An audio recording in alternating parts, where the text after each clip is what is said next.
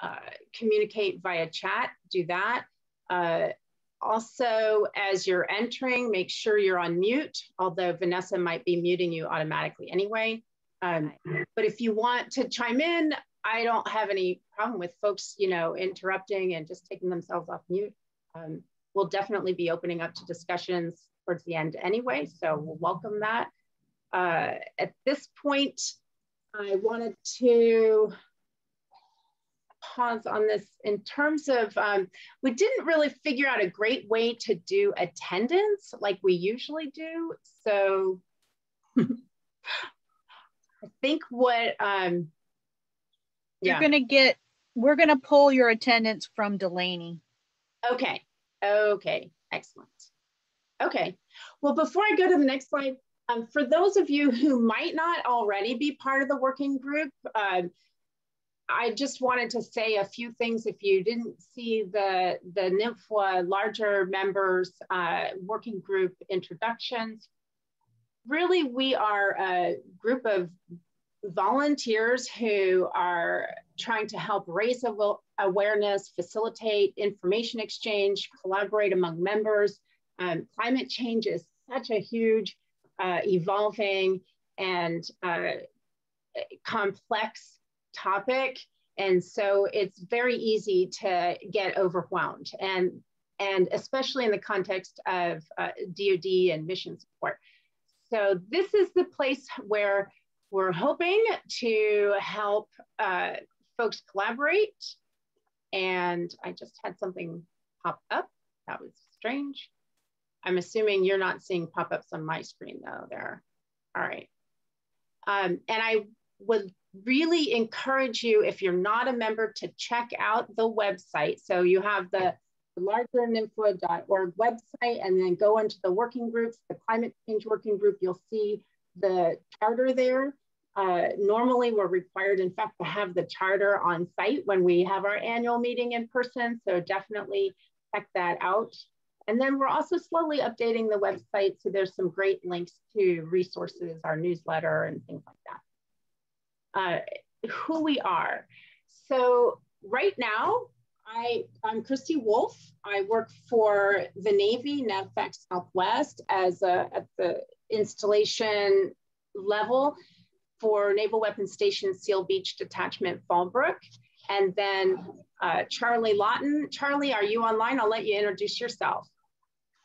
Hi there, everybody. This is Charlie Lawton. I'm the uh, Natural Resources, Cultural Resources, and NEPA manager at Schriever Air Force Base outside of Colorado Springs. And then our immediate past co-chair is Linda Brown. I don't know if Linda is online. But uh, Linda is, so our officers are made up of the immediate past co-chair, the current co-chairs, and then we have a recording secretary. So Linda's the immediate past co-chair at the end of this NMFWA. Um, Charlie will be our next immediate past co-chair, and then we'll have an incoming uh, chair, Dr. Mindy Clark. Mindy, are you online? Is. Mindy, you're currently muted though. so many buttons to push to unmute. um, here, I'll start my video so people you got a picture of me, but um, apparently it's not going to let me start. Oh, there we go. Um, hi, I'm Mindy Clark. I'm in Colorado as well um, at the Center for Environmental Management of Military Lands. Thanks, Mindy. Thanks. And Vanessa, who's online, you want to introduce yourself? Yeah, hi, I'm Vanessa Showblock. Uh, I am at NAVFAC Southwest, and I work a lot with Christy, which is why uh, we're kind of in this together. So excited about this meeting. And I put down there our membership is around uh, 240. It kind of comes and goes every day. If you are interested in becoming a member, there is a uh, button to join on the website itself. If you go through that way, it's way more helpful than uh, emailing us individually. But the climate change working group started actually way back in about 2010 uh, by Dr. John Lawson and Laura Muse. Um, it has since transitioned through several past co-chairs, Charlie Bond, Janet Johnson, Kevin Du Bois, um, and has steadily grown from, you know, a 10 members up to 240 and climbing.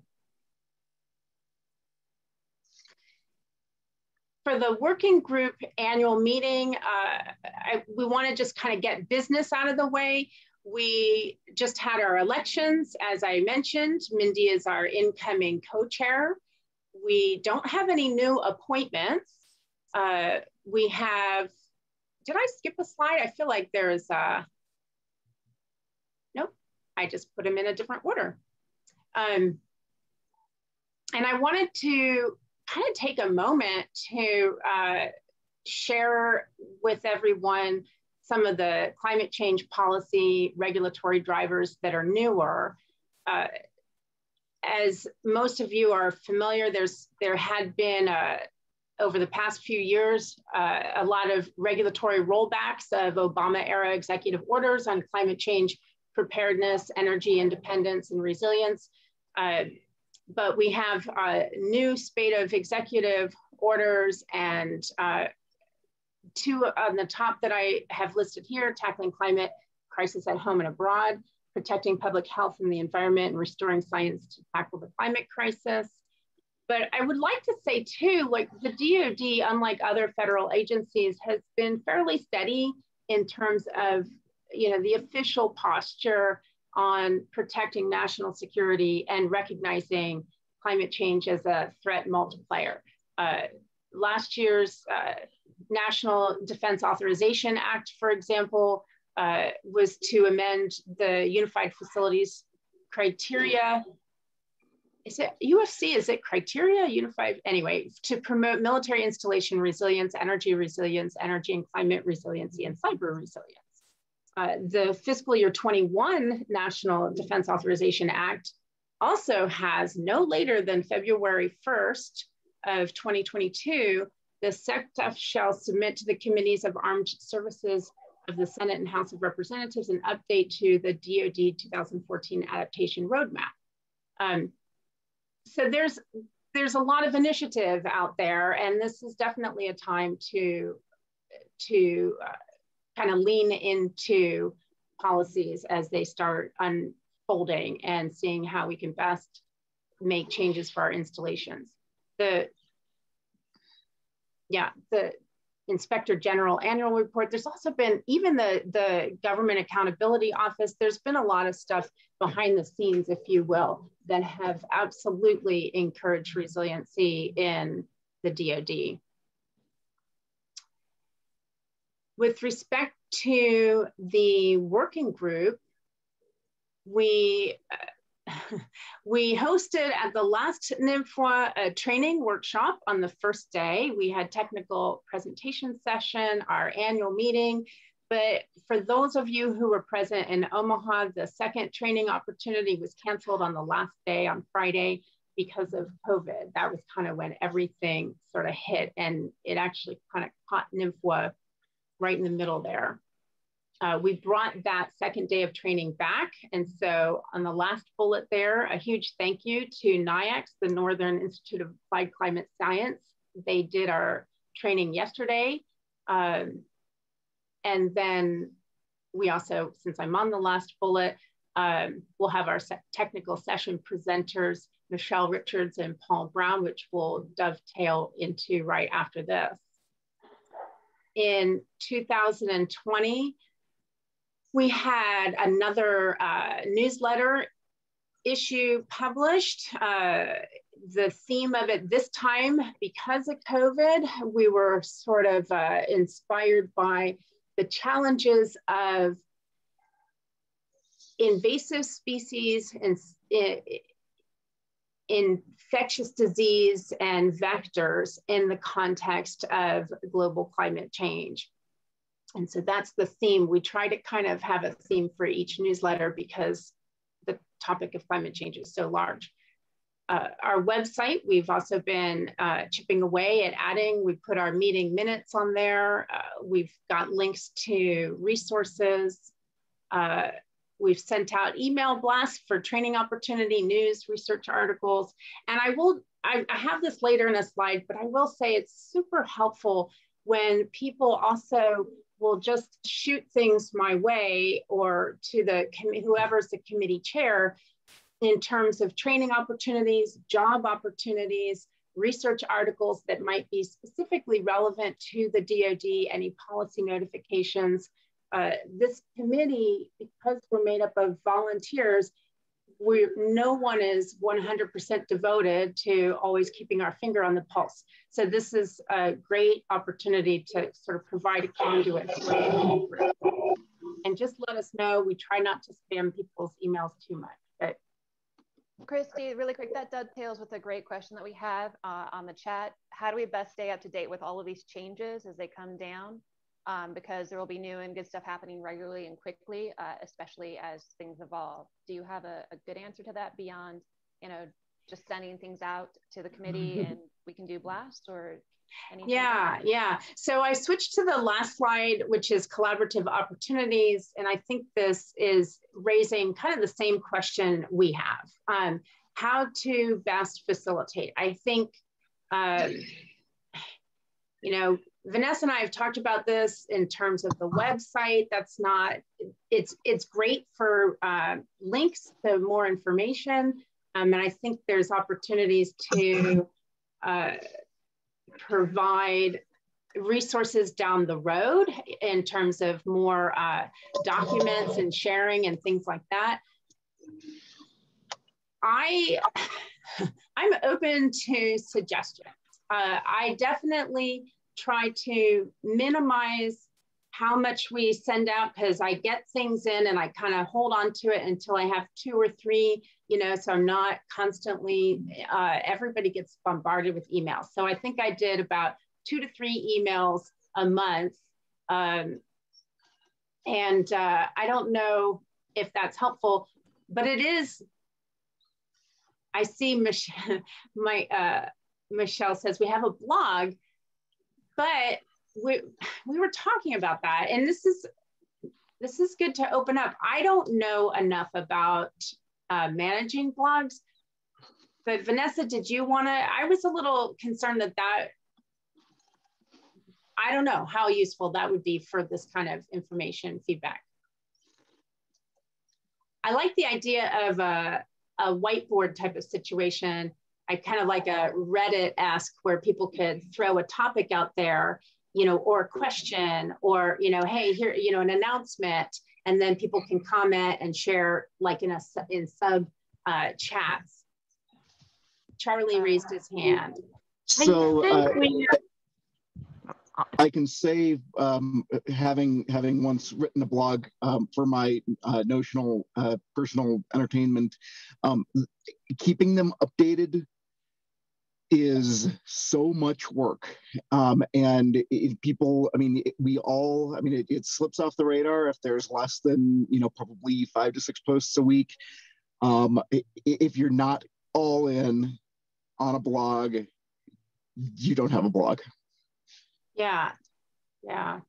So i i don't have the answers for that but i will say we really do need to, I think, step up our game in terms of engagements. And if there's any interested volunteers or folks in our working group community that would like to, see Mindy says, has anyone used Slack? Um, I have not, um, but I'm sure lots of other people have definitely reach out to us afterwards. I think there's opportunities here for figuring out some, yeah, Facebook, Charlie mentioned. Um, I think the limit too on the blog is that while um, you can get permissions and access to the blog if you come to us and are interested, um, the the actual editability of that is linked and and set by the administrator, the website administrator. So there's that to consider. Um, so Christy, as you said, if there's someone who's interested in maybe helping maintain a blog, that could be good. But we've found, I think that email blasts seem to be almost the most effective as opposed to having to email blast, go check out our blog. We usually just send that information out. And we might say, this is also in our blog if you need to refer to it. But we tend to use email as the most um, universal means of communication with our members because it's the easiest thing to use when the DoD. And email blasts are great, but they're definitely one directional. You know, we send it out and sometimes I'll get, you know, thank yous or certain things back, but it's not the same as um, I, over the course of the last year, I'll cert, I'll field an email about, um, you know, do you know anyone who's doing this? Or do you know of resources about that topic? And that's the kind of thing where um, it would be nice to, I don't, yeah, I don't know the best, I don't want to just like constantly send those out as emails. So thanks, David Jones. Um, so the, I, think we'll leave it at that with respect to if, if there's people who are interested, we're, we're definitely, I think, receptive to uh, developing a committee, if someone wants to be on a chair committee for how best to engage and facilitate that level of exchange, that is a big objective of this working group. So at this point, I see we need to figure that one out a little better. Uh, one of the things that we did stand up a couple years ago now was the Climate core newsletter. Uh, we kind of we bit off a lot in terms of the the format and content, and so we don't get that many out. We kind of traded um, quality for quantity. Uh, so we have three issues out, and you can take a look at our at the website for links to those. Uh, and as I mentioned earlier, we try and target each newsletter has a different theme. So the first one was wildland fire, the second one was sea level rise and inundation, and then the last one was invasive species infectious disease and vectors. Um, the next theme considerations that we're looking at is greenhouse gases, global temperature. Uh, I definitely was interested in tackling that one because it, it can be a very complex science, and I think it would be kind of fun to try and uh, demystify some of that and get some information out there. Um, but we're certainly interested in other theme suggestions. And most importantly, we have a section in the newsletter that I think is a really great opportunity for to spotlight initiatives that people are doing in the DoD. So we've had if you take a look at the newsletter in the DoD Spotlight Community Spotlight, you'll see what colleagues are doing uh, in the. We've generally had it be in the context of the newsletter theme, but we don't need to stick to that format. I think the DoD Spotlight should really be if anyone has a, a project or, or um, program that they would like to highlight, we can all learn from regardless of whatever the theme is. Um, sorry, I'm looking at two, at two different things here. I'll open it up. There's the last two bullets. We're just sort of looking ahead at NMFWA 22. We're always looking for suggestions, people who might be interested in um, certain training opportunities. Definitely give us feedback for those of you who have participated in the training in terms of uh, potential speakers, uh, we're happy to reach out to people uh, if there are if there are organizations or speakers you would like to see, um, or if you want to give a presentation yourself.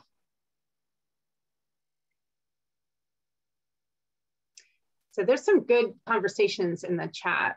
I haven't been following everything. Vanessa, have you?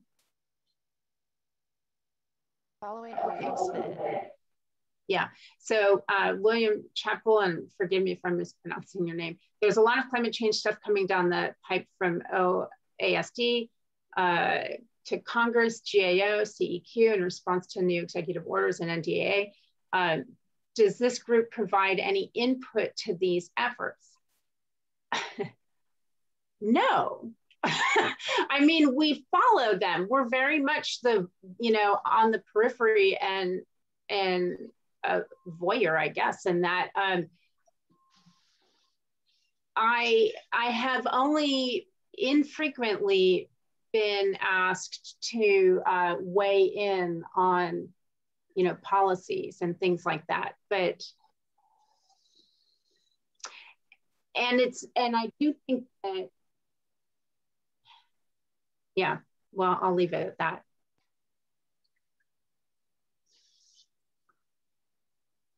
Thanks, Bill. So any other, does, if folks want to take off their, uh, their mute button, if you have any questions too, we can, Scott, um, instead of William. Um,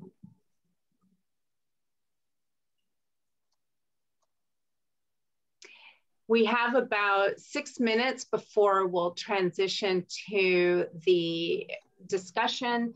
Hopefully everybody who's gonna be joining the discussion had an opportunity to listen to and watch the two presentations that were pre-recorded. And we'll go ahead and we'll present a very brief reminder as to what those were about. Uh, but we have a nice amount of time for that. Okay, Brian, IUCN has listservs that function as email format, but also that also chat communities. That could be that could be very interesting. We should check that out. I don't know if anyone else is familiar with the with the IUCN International Union of uh, Concert, uh, IUCN International Union of Concerned Conservation Network. I Michelle is asking.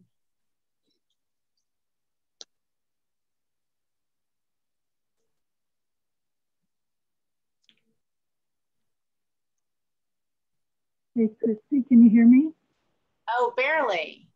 Oh, this is Aylin Pierce. I have a question about that EO that you were talking about. Um, do you know what role that your working group will have in terms of answering some of the data questions or data call, or call for information on that or call for action as regards to that EO? So I'm not totally sure I could hear that, but so you're asking about the executive order and or orders and data calls for supporting uh, response to those? Like the, um, at this point, I honestly, I'm not super familiar. I did review the executive orders, but only briefly. I'm honestly not sure what data calls might be getting generated, so I'm not entirely sure um, what how to answer that. Anyone else want to jump in on that? Well, what I what I meant to ask was what what um, role you think the the climate working group here could have a role in answering some of the call to action on that EO. Okay. Okay, what role does climate change or could the climate change working group have in terms of uh, helping respond to that call to action? Okay, thanks. Right. yeah, got it. Sorry, it is a little hard to hear, but I I'd like to think that we could really facilitate. So we have a wealth of information out there, at least in terms of the nexus with mission, natural resources, and the challenges ahead. And not necessarily answers, but we can we can help by identifying the risks that uh, a lot of times I, I I don't know what other installations are, um, how prepared you know they feel, but I can certainly say uh, our public works folks are so racked and stacked with the here and now and the day to day. It's extremely difficult for them to to look five years down the road, let alone you know 15 and 20 years down the road. And so one of the things that I'm continually doing is just trying to get people to even look at uh, what are the future potential risks and vulnerabilities to the mission every time uh, every time they're doing a new project. Um, and those are the kinds of things, you know, when they're talking about hardening of assets or building in resiliency, it's not just natural resource resiliency, it's for mission assets and structures and uh, training opportunities and what have you.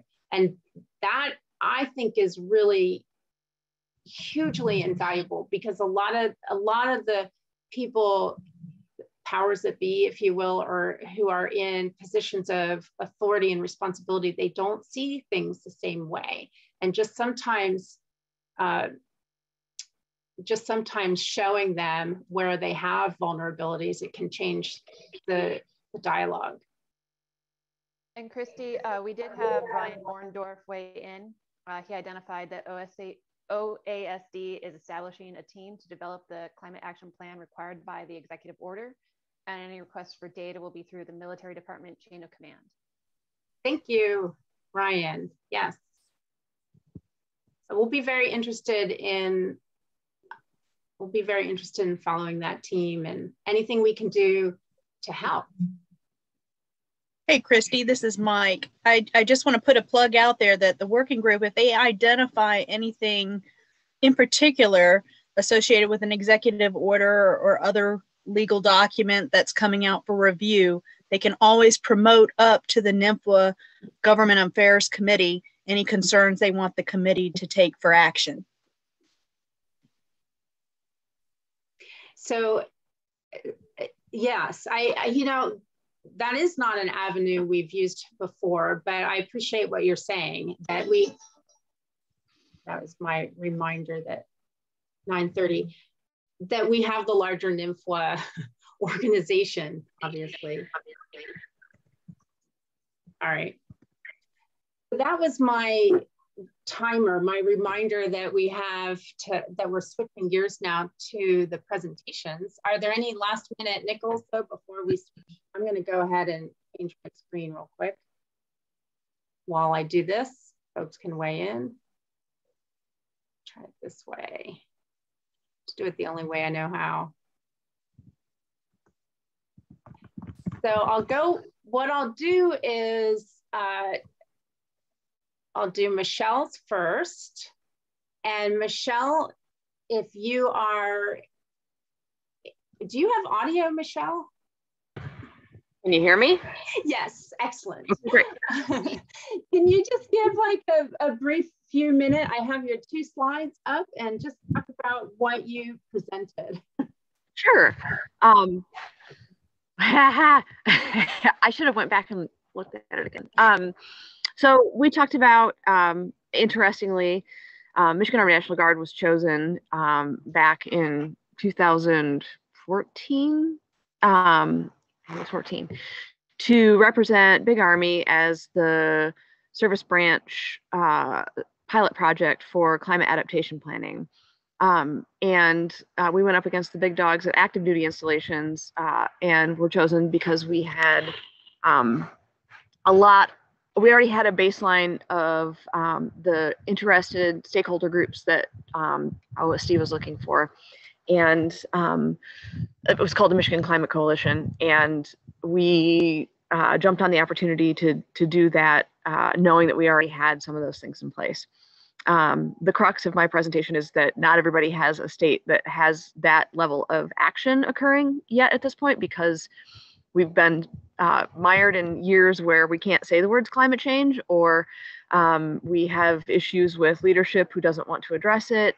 Uh, any number of things have gotten in the way of states being able to be proactive in regards to climate change adaptation. So uh, Michigan's been lucky because we've had this undercurrent of rebellious state and uh, federal government workers who have stuck with the actions of trying to develop a statewide working team to do as much as we can to uh, address mostly adaptation, though there has been um, some mitigation pieces that have fallen into our laps as well. And now that we have a, a governor who believes in climate change and is concerned about it, and um, she's appointed a, it's not, this is not the official title, but she's a climate change czar. And we're uh, busting open the mitigation plans for our state again, which is, in case you're not familiar with the language, I'll say mitigation is reducing carbon emissions and adaptation is preparing for the effects of climate change.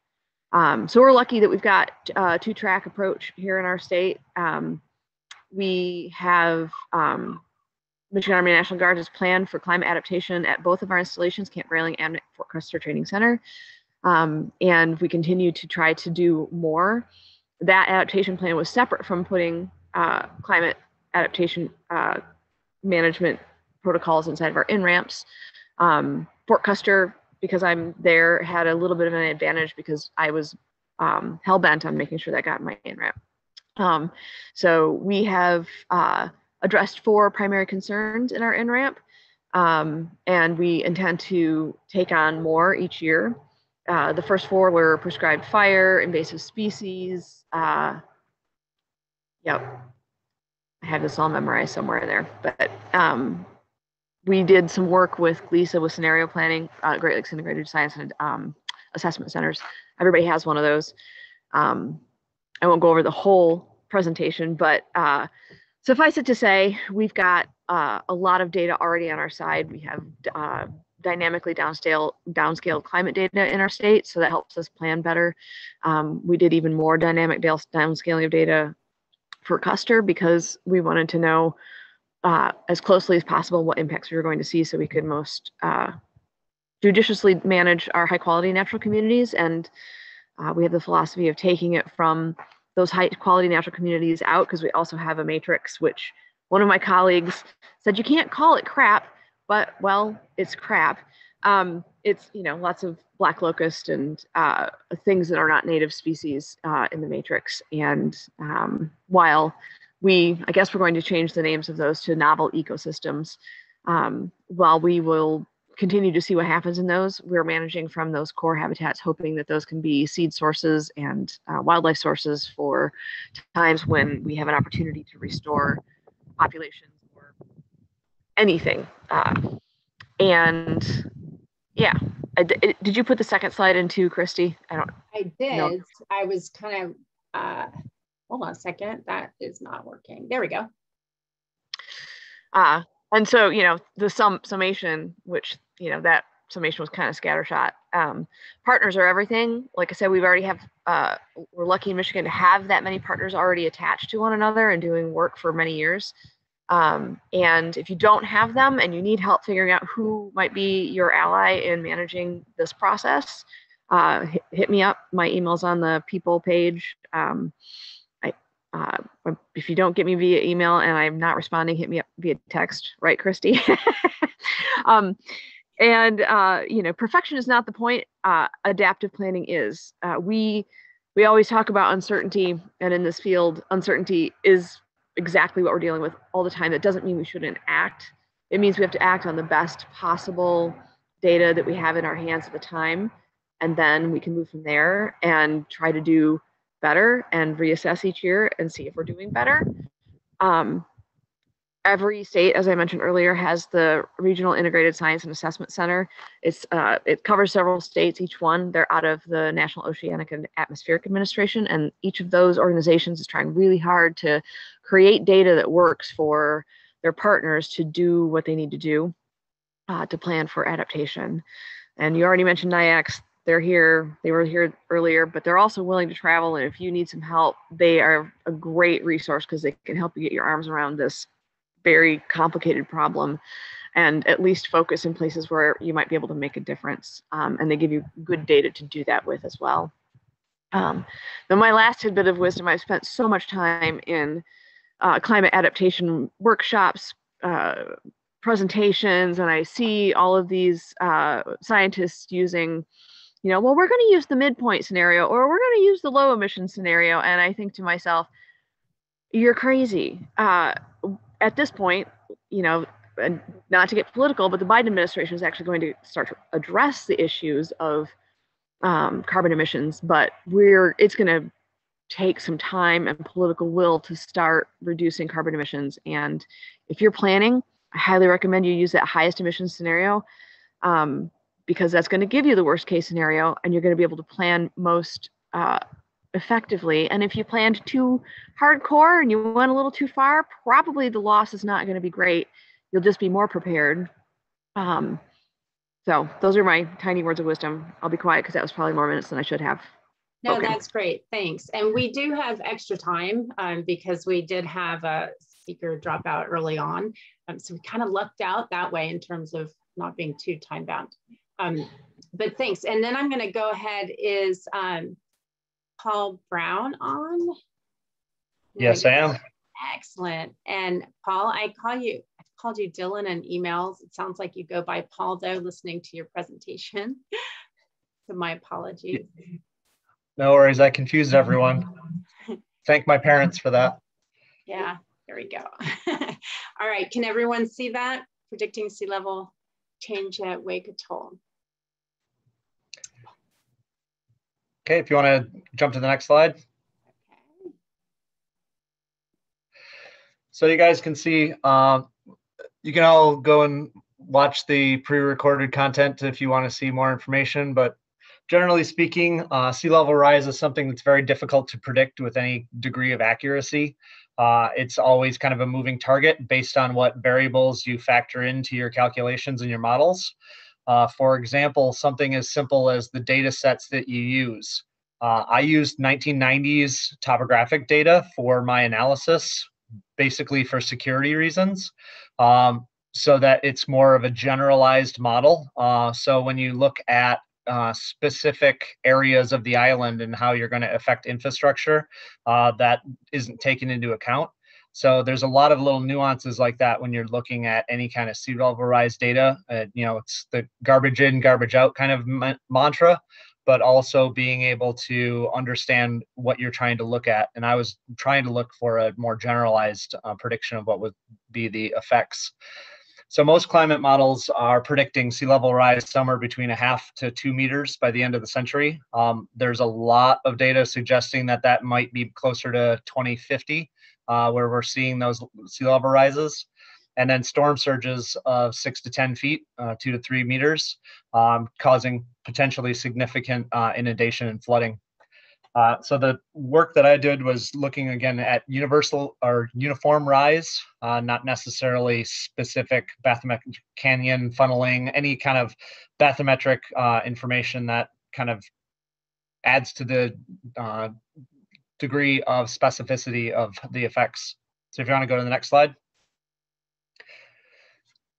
So if we had just a 0.6 meter rise, uh, 60 centimeters, which is kind of the low end. Uh, that's what NASA is predicting is somewhere between 0.4 and 0.6 meters. Um, we would see significant ponding and pooling on Wake. Uh, if we went up to 1.5 meters, um, we're going to lose a great portion of the island. Um, and then the modeling went from, I did everything from 10 centimeters up to 3.3 meters. And so at 3.3 meters, uh, essentially the island's underwater. Uh, so the other thing to take into account with sea level rise and with just general global climate change is that that will bring changes to precipitation as well. And we already see time periods where we have large uh, flood events following major rainstorms. And so that would only uh, exacerbate uh, problems. Uh, one thing that we do see out at Wake is a uh, dynamic coastline uh, that's constantly changing. Uh, so there's actually another uh, presentation I've done for NMFA regarding land change out at the island. And we see a lot of shoreline changes, and that's going to affect how sea level rise affects the island. Um, so the other thing that I think it's really important to mention is sea level rise is kind of a slow motion emergency. And I think because it's so slow motion, it's a chronic issue that a lot of people don't really recognize the significance to areas that are low lying or coastal.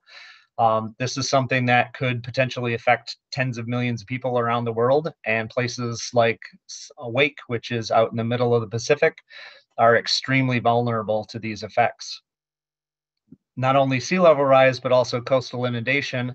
Uh, if we get changes in weather patterns and we get more severe and frequent storms, which is what is predicted, uh, then we start getting acute effects of catastrophic events happening on the island.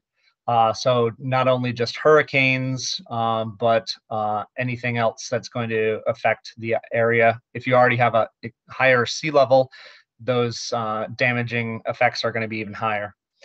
And so the the big takeaway message from from what I did though is that I was looking at the consequences of sea level rise or inundations and how it would affect the infrastructure in the island. Uh, I was not trying to make predictions of when this is going to happen or the probability of one thing happening or another. Um, we do have uh, ongoing work right now. I'm actually heading out to Wake this week uh, to go drive a boat for some bathymetric surveys where we're going to be uh, fine tuning some of these uh, predictions and trying to look at what are the probabilities of, of occurrence of some of these situations happening on the island. And then we can start making recommendations of how to mitigate those effects. So that's all I got. Excellent. Yes, stop screen sharing. And um, really open it up to questions and uh, comments or I, I have a few questions but i'm going to sit on my hands for a minute and let other people jump in either uh, through audio or on the chat. I guess while we're waiting for folks i'll i'll ask a couple. I was uh, starting with michelle. I am very interested in the the RISA, basically the uh, NOAA's RISA teams, and it's not something that we've engaged with as much where I am, at least um, I, I don't want to speak for our whole region, but um, let's see, where's my question here? Um, in terms of tapping into subject matter expertise for your questions of interest. I mean, that always seems to be a challenge to get these other larger agencies, uh, unless you're ponying up a lot of money and saying, you know, here, can you can you study this? Or can, you know, what what have they specifically been able to provide and how how's your experience been? Hitting all the right buttons. Um, so uh, ours is really active and I I wish I knew a little bit more about the other regional ones. They are um, they haven't asked for much. I um, I offered funding for what I was asking them to do, not a lot, um, to do some of the downscaling. Um, and Michigan's weird because uh, we have the Great Lakes surrounding us, and um, it presents a challenge that cannot simply be captured in the global climate change modeling data. So in order to get that applicable um, data for our funky little area, and it, you know, yeah, maybe you've heard of lake effects. No, maybe you haven't, but if you live here, you sure have. Um, those kind of crazy things. Uh, it's it's it's critical to do the dynamical downscaling, and not everyone can do that. You can do statistical downscaling in other places where it's not as complicated, and you'll still get the right amount of data um, they have a meeting. They there's so there's the National Adaptation Forum, which you may or may not be familiar with, um, and the the the local RISAs do every other year. So National Adaptation Forum happens one year. Uh, the local adaptation forum happens the other year, and um, ours has helped farmers uh, do downscale data to determine if the cherry blossoms are going to get whacked and what they can do to help prevent the agricultural issues that are facing them. Um, they generally don't, they get funded, they get federal funding. It's a research based organization. It's NOAA in partnership with universities. For us, it's University of Michigan and Michigan State University. And so they have experts from all different parts of climate change, where, whether it's the actual crunching of the data, um, whether it's the predictions of lake levels or impacts on society or networks of like how how do you disperse information amongst people uh, in order to get word out about climate change impacts. So uh, I, I'm going to guess that the other regions have similar things and that they all get a good chunk of funding and they're there to serve you. Um, I don't you like i said we offered because i knew what i was asking of them was a relatively big effort. If it was just the downscaling of data they almost owe it to you to do that because the feds are already paying the bill. Does that answer the question? Oh can't hear you. Are you muted? I was. Good thing you didn't let me go on too long.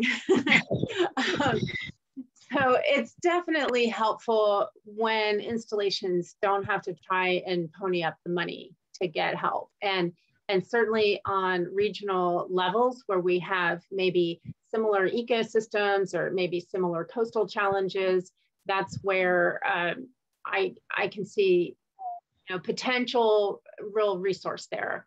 Um, so yeah, I'll, I'll certainly be looking into that more. That was, that was good to learn about.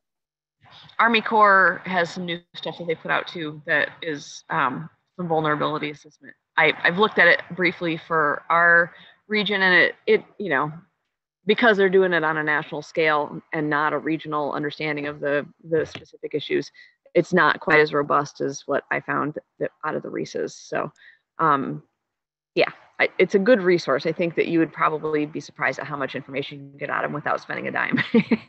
yeah, and and the scaling aspect, I think, is it's so important not to underestimate, overestimate. Um, when you have like national, uh, sorry, my computer, uh, national models, it there's going to be a lot of problems trying to apply it locally. And and I'll, i think that's one of the bigger challenges when you're at you know you're in your silo at an installation and you you're already wearing multiple hats. The last thing you can be is a specialist in how to scale a model. And so i mean you're talking about you know statistical versus dynamical scaling. And i'm i'm like uh okay, I have to look that up. Like I don't, you know, I'm I'll be quite honest, I don't even know exactly the nuances that in that terminology. Um, but that's where we could all use, you know, tap into SMEs, um, get a little translation and localized uh, support. Now, Christy, um, we did have some questions in Pathable. Okay. Uh, one of them is from Aaron Hebschi. He asked, um, as to Paul, as someone who has seen firsthand storm surges inundating Wake Island, how important are models, how important in the models are storm surges versus just gradual sea level rise?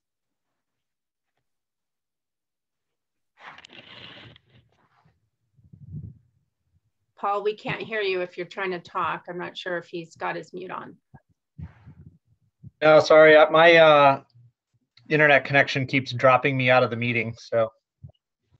Um, I'm sorry, I missed whatever just happened, other than he's yeah. probably on mute. so, uh, Paul, our question was um, as someone who has seen firsthand storm surges inundating Wake Island, how important in the models are the storm surges versus just gradual sea level rise? So, storm surges, well, I, Yep. So I think the the issue is um, the slow and gradual rise in sea level versus the shock and awe of storm inundation.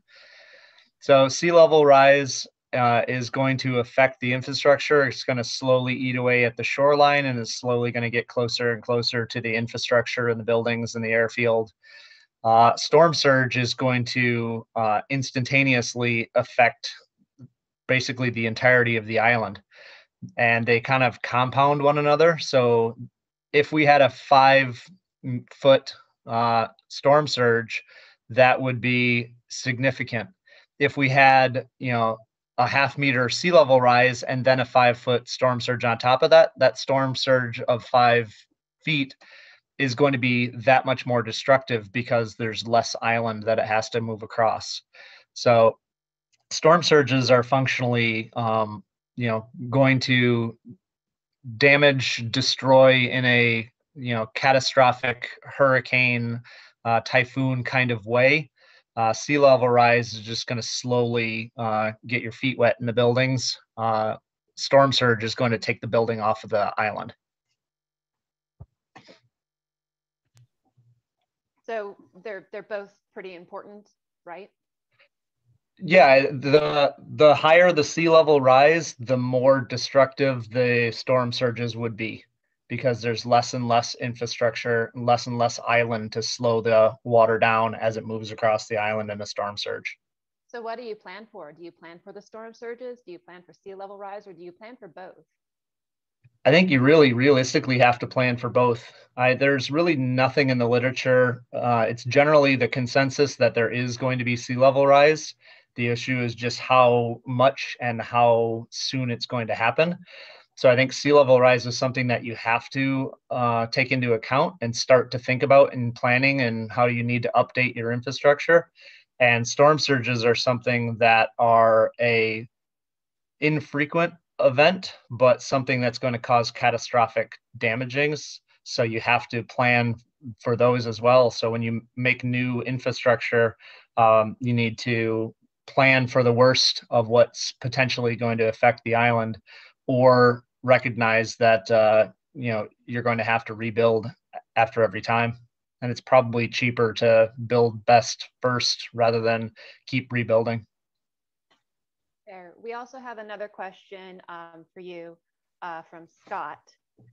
Uh, and he asked have you been sharing with or using the DoD's uh, DRSL website for SLR data and predictions? Um, yeah, I've looked at that. Um, generally, what I use is uh, NGA, so the National Geospatial Intelligence Agency. Uh, I get a lot of, I have all of the data that they have from GRID. And um, so I've used a multiple different array of all the available data and then some stuff that we've uh, have available through the Air Force.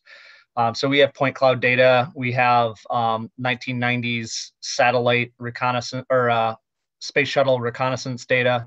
Uh, we've got original mapping topographic data from the 1950s marine surveys. So there's all kinds of data available, and I've actually modeled using all of that data.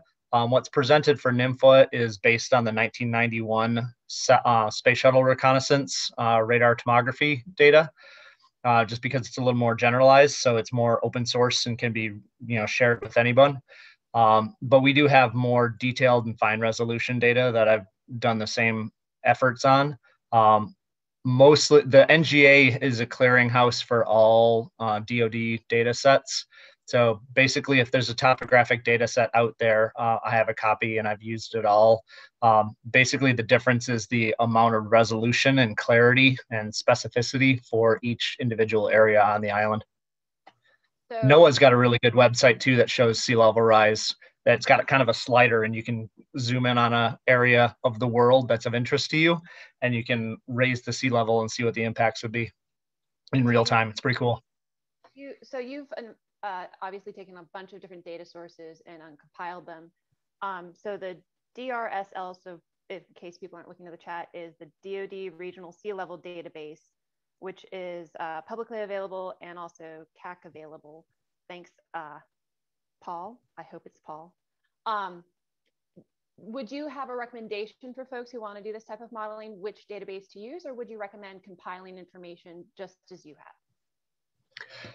I think if you can go to a single source, it's a lot easier. I was trying to compile and look at differences between the data sets and see if I saw anything different based on the quality of the data that we got. Um, so I think that the um, the website they're mentioning there is a, a, great resource for people that don't necessarily, not everyone necessarily has access to NGA data and so um, it just depends on what you have access available to. I, I, personally recommend using the highest quality data with the highest resolution um, that you can get. So if you can get NGA data, I would highly recommend it. If you can't get it, then use what you have available. And um, the the more information you have, you can always um, reduce resolution, but you can't increase resolution. And we have another question from uh, Ms. Valerie Vartanian. Uh, and this is once again to Paul. They're looking at beach replenishment at Naval Base Ventura County, Ventura, not Ventura County, Naval Base Ventura to enhance our coastline. For example, they've lost about 400 feet of beachfront since the 1940s. So um, how would Wake build protection? Are you talking about adding fill? Are you talking about you know, are we at the point of talking about sea level dikes? What what's the process here, or what are you looking at? What's what's the Air Force looking at for the future? Well, that is a very hard question to answer because there's a lot of different ways to do it. Historically, what has been done for uh, shoreline and beach replenishment is, um, you know, seawalls and uh, kind of perpendicular walls heading out from the beach, and so you get uh, shoreline uh, accretion from the, the sand in that area. Problem with that is you adjust and you change localized uh, current patterns. And wake in particular is arguably one of the nicest coral reefs anywhere in the Pacific Ocean. And that's kind of a little fun fact that most people don't know. Uh, when you look at the NOAA data that travels all across uh, the Pacific, uh, Wake has some of the highest coral cover left anywhere on Earth. And so it's a spectacularly pristine area, um, kind of by de facto being a marine protected area for so many years. And so when we, it's also a marine national monument and a national wildlife refuge.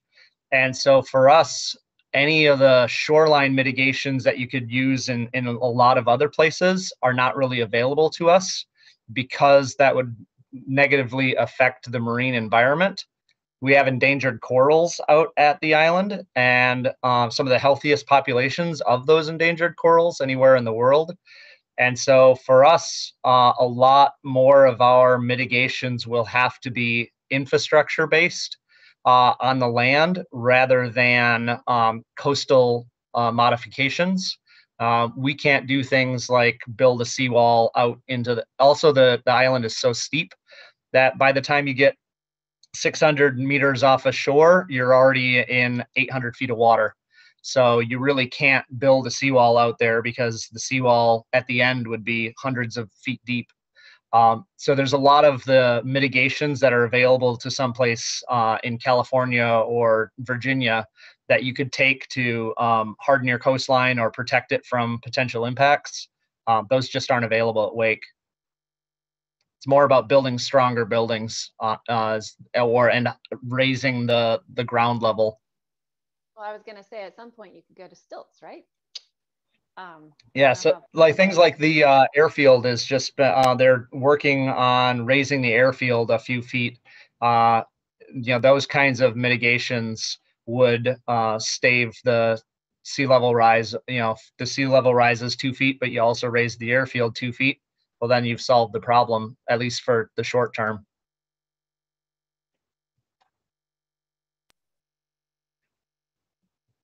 Have a lot of other talk going on in the chat, but it looks like people collaborating, which is great.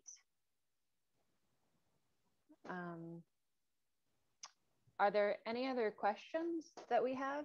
We don't have a lot of time. It's uh, 10 o'clock. I believe we end at 10? At 10.15. Oh, hey, we have plenty of time. Let's see. So, Paul, you did just mention, and this is always something I'm I struggle with. You mentioned that they're talking about raising the uh, airfield two feet or whatever it was, and that that was a projection for sea level rise. Um, one of the one of the things I'm always trying to encourage, but it really it's usually the first thing you get back is it's just too much money.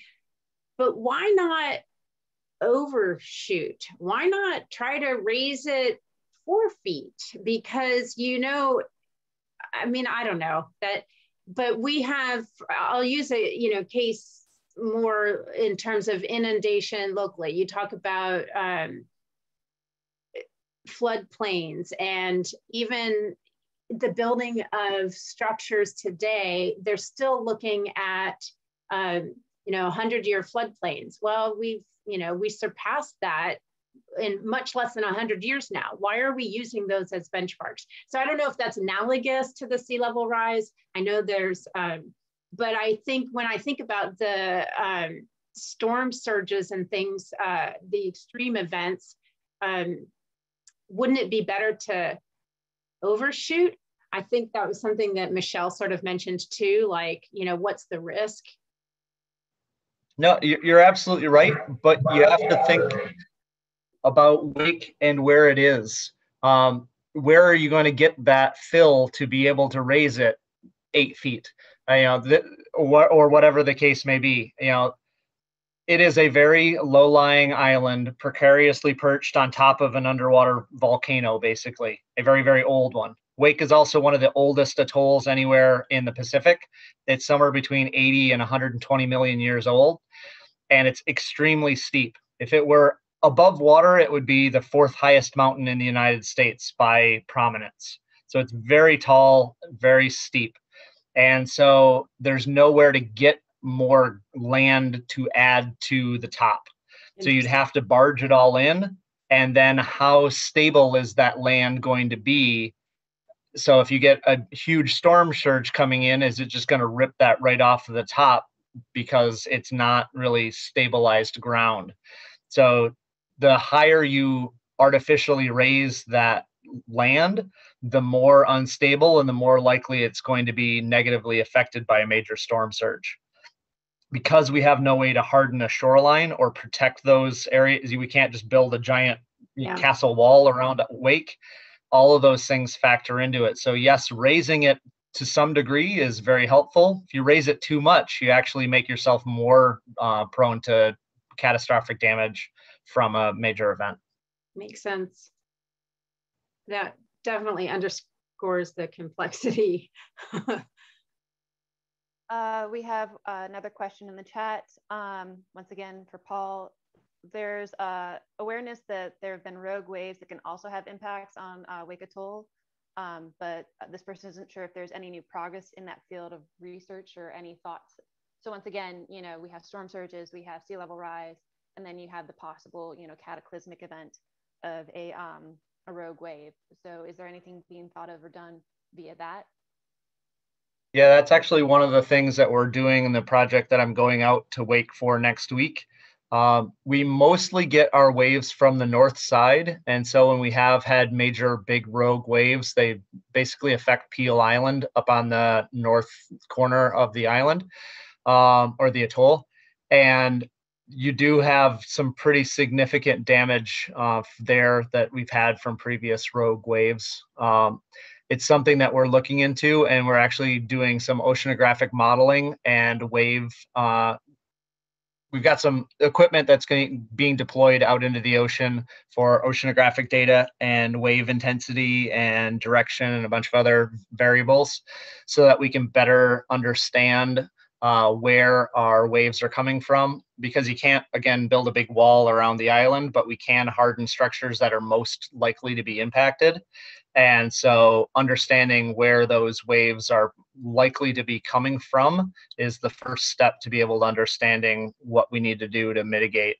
Um, right now, we think most likely the north side is the most likely place that we're going to get. But understanding that um, canyon funneling and some of the nuances of the bathymetry that will affect how waves are channeled uh, into the island and so there is potential that other areas of the island could be impacted in a, in a greater way based on where the waves are coming from and, and what those intensities are. Uh, thank you for that answer. We have a question from Colin Lee. Uh, this was for Michelle, and Michelle did answer this in the chat, but I just wanted to highlight it. And Colin asked, um, the Michigan presentation gave examples of implementation and they sound like research and monitoring studies. Can you talk about how you fund these? Example through in funding requests or partner contribution? And are there carbon sequestration or habitat enhancement implementation goals that you can speak about?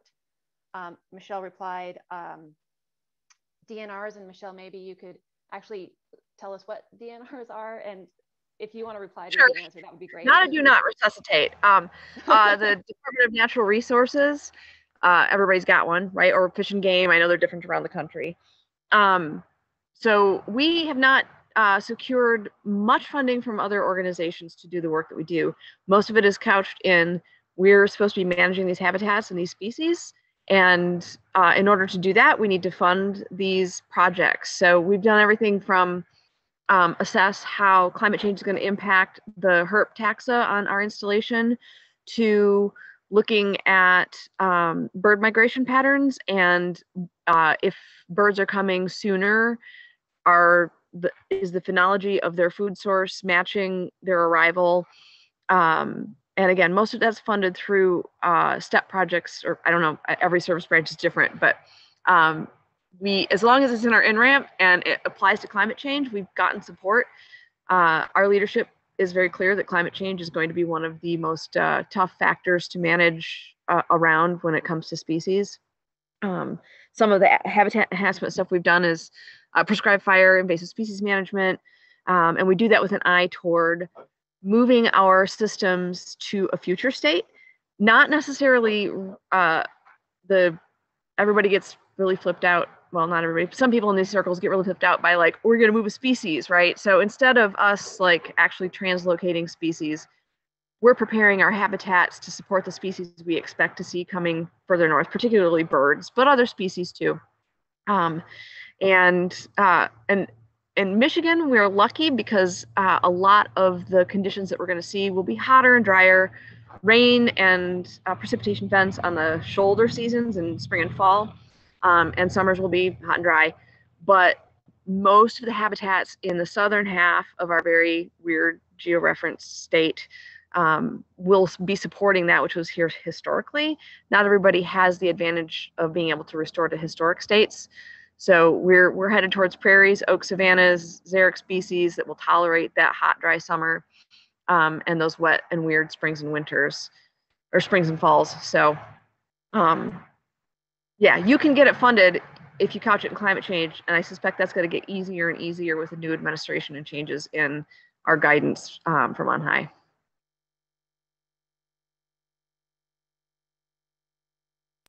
Well, Christy, you and I were talking about this as well, um, and it was along the lines of funding and funding for analyzing climate change and climate change impacts. Did you want to share a little bit about our conversation? No, I'm just kidding. um, so we, I mean, what we were talking about uh, veered a little bit into the politics of, you know, and challenges of securing funding. And I will say that every organization or branch in the service is a little different in terms of how they um, how they prioritize dri uh, drivers for funding um, and we, our organization, and I don't know that this is true, especially listening to other people, um, you know, there's certain drivers that just don't carry weight and climate change um, just has never had a very strong driver by itself. Um, but certainly where there's a nexus with something like Endangered Species Act or um, a strong nexus with mission impacts, but even then it can be challenging unless you know the facilities or public works is um, ponying up. Um, uh, so that was kind of the nature of our conversation somewhat, but there are other sources of funding and we certainly have we have partnered with our public works um, where there where there is a joint benefit for sure. Um, there are also other streams of funding, sometimes ag programs, um, uh, uh, grants, and things like that. Um, but just packaging for during the, we're entering a POM cycle for the Navy. Um, I say for the Navy because is POM, POM is DOD wide or uh, this just came up a recent thing. I thought it was more widely used um, in the in the government than it is. Um, but things like Migratory Bird Treaty Act or wetlands, or those are not strong drivers. Um, so it's hard to just put in a, a, project with those or with climate change. You have to be strategic in how you package things and really look at what are the risks and benefits and make a, a strong argument to get that funded. I don't know if that answered your question, Vanessa other people are certainly welcome to weigh in. That was only my personal experience. I think that you would find, uh, um, and I can't off the top of my noggin recall where they are, but there are uh, requirements inside of uh, various and sundry pieces of policy that have come down from DoD that require us to plan for climate change. Um, so yeah, you can't necessarily just put in a I'm going to plan for climate change project um, and have it work, but you can say we expect this species on the uh, American Bird Conservancy list to tank in the next 10 years because blah blah blah. Um, yeah. We need to do this work in order to prepare for it. So you're right. You do have to sometimes craft it more uh, subtly if your leadership is less inclined to uh, see it as the crisis that it is. Um, and that speaks to like the more advocacy we can do as natural resources managers and understanding the uh, the it's an actual crisis, as I heard someone on the news last night say, uh, that it's just as bad as the pandemic, if not worse, because the long term impacts are going to be yeah. awful, as we all know. So, yep, the more advocacy you can do with your leadership, the better off you'll be. Yeah, and and you and you mentioned tying it to a species, which is exactly what you know I've done as well. But it ha- you know, but it has to be a federally listed threatened or endangered. I mean, it, it has to have at least today. I mean, I don't know in two years or how things are going to evolve, but from at least my experience, um, the algorithms for prioritizing funding don't necessarily weigh executive orders. And it's not that there isn't policy, it's not that there isn't um, guidance, it's just that doesn't have the, a strong driver to, I, there are so many, you know, projects competing. You know, we've perfectly legitimate, you know, good wetland conservation money or what have you that doesn't get funded. Um, so, eh, but that's that's just going to be a perennial challenge in terms of uh, climate. But I think it absolutely can be done, and we have absolutely funded climate change, uh, climate adaptation initiatives, uh, and it's just the way it's just the way we've packaged it. And so, I would just encourage folks to work within their organization who might be savvy with what their uh, higher, you know, headquarters tends to fund over other things. So I just want to point out that the Pathable chat has a lot of good uh, commentary going on. Uh, Tammy Conkle identified that POM is indeed uh, Department of Defense wide. And Brian Hennon had a comment, and I would read his comment, except my internet is refreshing. Um, but Michelle, there was another comment for you there about the 50 to 100 year difference if you wanted to speak to that really quickly before we close. Sure. So I, I tried to answer it in text, but it's probably easier to say it out loud. Um, I shoot for 50 years out, and I shoot for 50 years out on the uh, highest emission scenario. Um, that gives, and I don't do the points in between. Um, I feel like it's too complicated to try to plan for in 10 years, and in 20 years, and in 30 years. Like shooting for 50 years out gives us a solid sense of what we're going to expect the scenarios are relatively uh, solid and rigorous in that time frame. And then with an eye towards what they're predicting for 100 years out, I see if there's any tweaking that I need to go back and do at the 50 year time frame. Um, because if you if you try to do all of the stuff in between, you're gonna get so far down in the weeds that you're gonna be overwhelmed, handcuffed, and incapable of planning for the future. and the, one of the loose things that I've been told is planned for in 50 years, the climate 50, 500 miles south of you is what you're probably going to be able to expect. That's a really loose and really uh, unscientific way to do it, but it does give you a sense of what you might end up facing in the long run. So can I ask really quickly? Are you so you're looking at a uh, what's your when you say 50 years out? What is the time frame around 50? You know, so if we're looking at you know 2071 what's the time frame around 2071 that you're looking at? Are you looking at a 50 year average? Are you looking at a 20 year average? Are you looking at a 10 year average? Do you know what i'm getting at with the predictions or are you just or projections? Are you? Uh-oh. it's can you hear me? Yeah.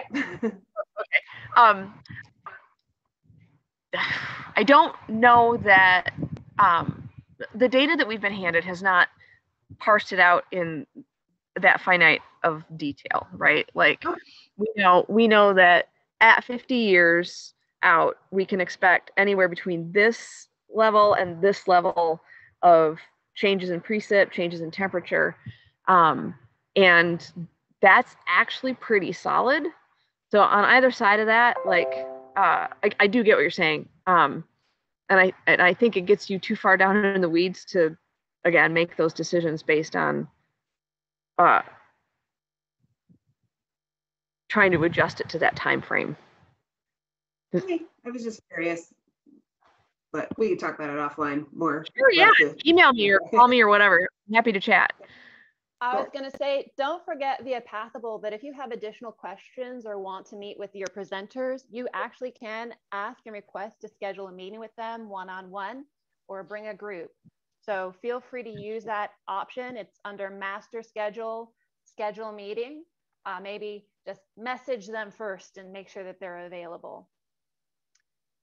Christy, did you want to do anything before we close?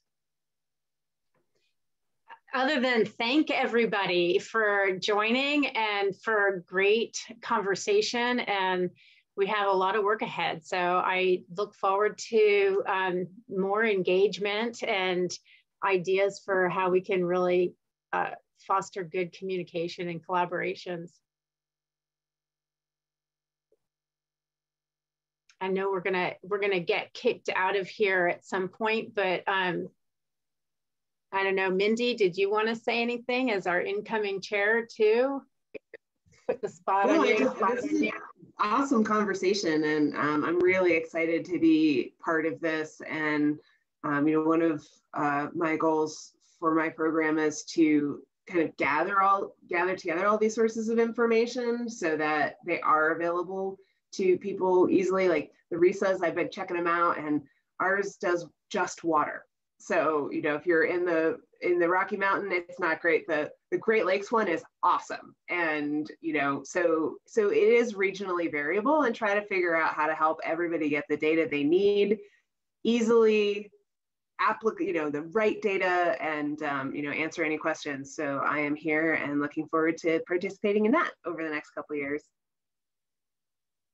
Oh, and one more plug. Um, for Air Force folks, um, one of the things that uh, we can help with is integrating, it, uh, uh, we're uh, helping out with all your INRMP needs. And one of the things that we can do is help integrate climate change into your INRMPs. So if you want to get on that list, um, please reach out to me and I would be happy to do that.